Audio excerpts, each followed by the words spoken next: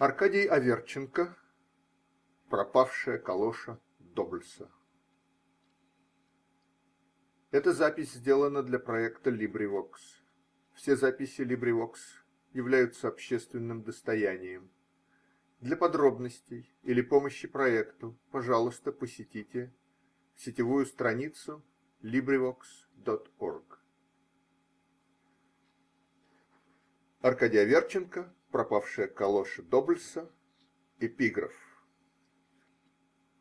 После "Таймса" мы зашли в редакцию "Дейли Нью", пель-мель и еще в несколько. Сочинения Артура Конан Дойля. Мы сидели в своей уютной квартирке на Бейкер-стрит, в то время, когда за окном шел дождь и выла буря. Удивительно, когда я что-нибудь рассказываю о Холмсе. Обязательно мне без бури и дождя не обойтись. Итак, по обыкновению выла буря, Холмс по обыкновению молча курил, а я по обыкновению ожидал своей очереди чему-то удивиться. --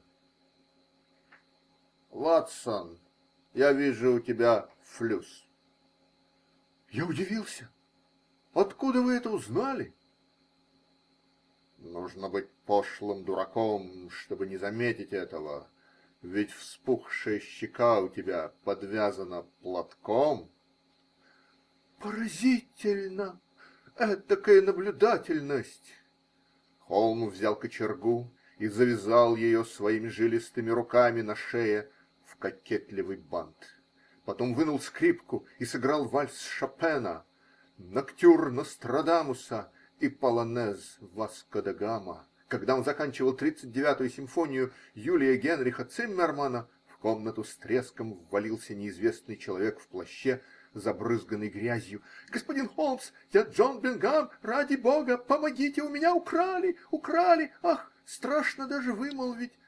Слезы затуманили его глаза. -- Я знаю, -- хладнокровно сказал Холмс, -- у вас украли фамильные драгоценности.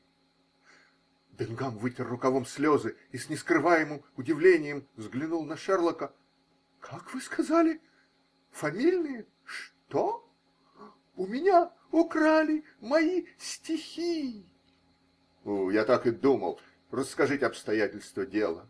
-- Какие там обстоятельства? Просто я шел по Трафальгар-скверу и, значит, нес их стихи-то под мышкой, а он выхватит и бежать, я за ним, а калоши, и соскочи у него, вор-то убежал, а калоша вот.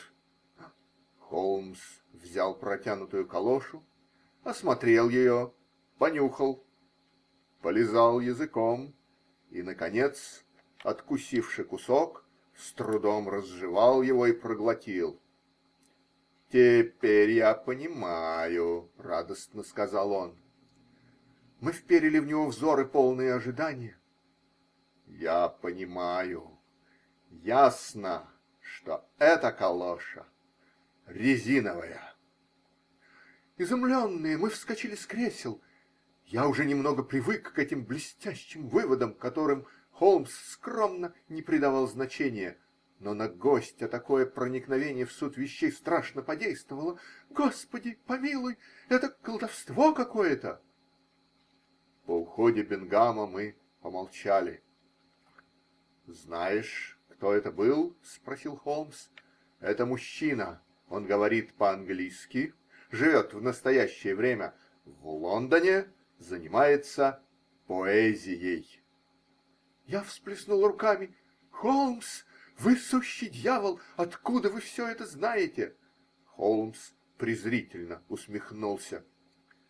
Я знаю еще больше. Я могу утверждать, что вор, несомненно, мужчина. Да какая же сорока принесла вам это на хвосте? Ты обратил внимание, что калоша мужская? Ясно, что женщины таких калош носить не могут. Я был подавлен логикой своего знаменитого друга и ходил весь день как дурак. Двое суток Холмс сидел на диване, курил трубку и играл на скрипке. Подобно Богу, он сидел в облаках дыма и исполнял свои лучшие мелодии. Кончивший элегию Ньютона, он перешел на рапсодию Микеланджело, и на половине этой прелестной безделушки английского композитора обратился ко мне: -- Ну, Ватсон, собирайся, я таки нащупал нить этого загадочного преступления. Мы оделись и вышли. Зная, что Холмса расспрашивать бесполезно, я обратил внимание на дом, к которому мы подходили. Это была редакция "Таймс". Мы прошли прямо к редактору. "Сэр", сказал Холмс, уверенно сжимая тонкие губы. "Если человек, обутый в одну калошу, принесет вам стихи, задержите его и сообщите мне". Я всплеснул руками: "Боже, как это просто и гениально!"